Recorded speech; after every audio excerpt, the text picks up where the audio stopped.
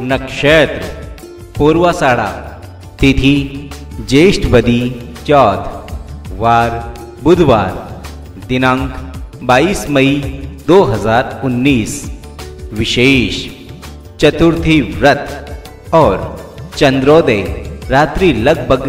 दस बजकर तैयलीस मिनट पर तथा राजा राम मोहन राय जयंती